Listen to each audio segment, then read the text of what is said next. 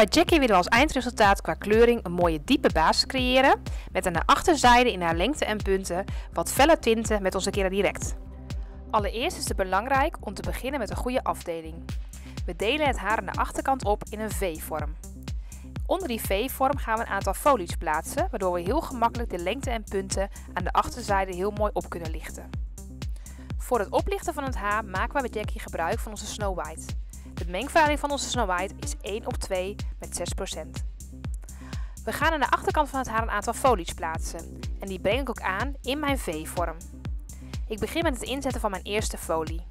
Daarmee begin ik met het middenstuk van de folie en daarna schets ik hem door naar mijn lengte en punten. Haar uiterste punten laat ik er een beetje uit, want die al door middel van een eerdere blondering op zijn gelicht. Daarna vervolgens ga ik mijn aanzetje ga ik mooi schetsen en dat doe ik dan bij kwast horizontaal te houden.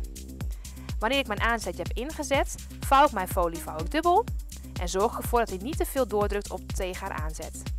Vervolgens vouw ik de zijkanten van de folie vouw ik dicht en begin ik aan mijn volgende folie. Hierdoor heb ik een mooi strak pakketje en kan ik ook zo meteen wanneer ik de rest van het haar ga inzetten, het haar goed aan de kant leggen. Bij het inzetten van de folies maak ik gebruik van baantjes, omdat ik op deze manier zoveel mogelijk lichtheid kan creëren aan de achterzijde van het haar. Ik vervolg mijn foliepartij en die werk ik helemaal door tot ik aan onderaan bij de nek ben. Daarna ga ik aan de andere kant van het haar beginnen en begin ik ook weer bovenaan met mijn folies en werk ik helemaal door naar de contourlijn aan de onderkant. Zo creëer ik in een mooie V-vorm een aantal folies aan de achterkant die ik zo meteen ga inkleuren met mijn Kera Direct.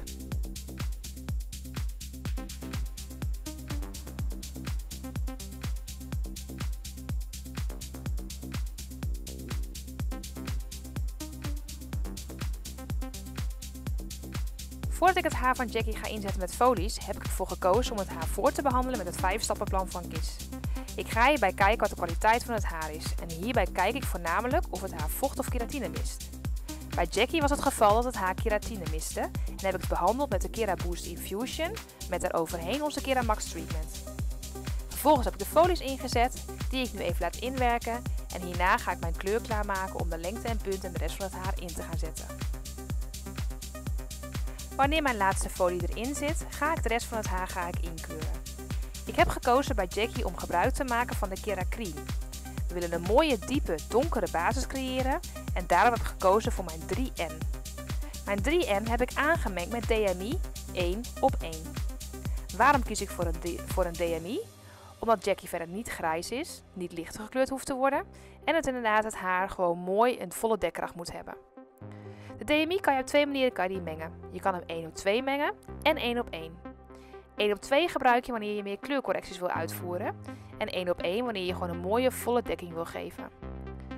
Jackie heeft al een tijdje geleden haar haar gekleurd, dus ik ga haar volledige haar gewoon in één keer helemaal inzetten, dat het gewoon een mooie donkere diepe basis krijgt.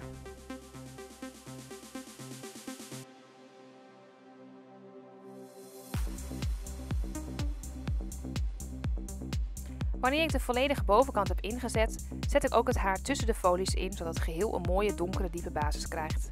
Wanneer ik de hele uitgrip ingezet, pak ik gelijk haar lengte en punten, zodat het gehele haar één egale kleuring krijgt. Vervolgens geef ik het haar een volledige inwerktijd van in ieder geval 20 minuten. En daarna kijk ik hoe lang de folies nog nodig hebben, zodat ze een mooie, heldere, lichte kleur hebben. Ze hoeven niet helemaal wit, maar ze moeten wel voldoende opgelicht worden, zodat ik daarna de keer direct er heel gemakkelijk overheen kan zetten. Deze laat ik nu even inwerken en ondertussen ga ik kijken hoe licht de folies worden en ga ik het geheel uitspoelen. Ik maak nog even goed de contourlijn schoon, want voornamelijk bij donkere kleuren ga je natuurlijk altijd die contourlijn ga je goed zien. Ik gebruik hierbij onze Hair Color Remover doekjes en zorg ik dat alle verf van haar oren en haar contourlijn en haar nekpartij helemaal goed schoon is. Wanneer het haar de volledige inwerktijd heeft gehad, ga ik het uitspoelen en nabehandelen. Daarna heb ik het haar licht aangedroogd, zodat ik goed mijn afdeling aan de achterkant kan weervinden.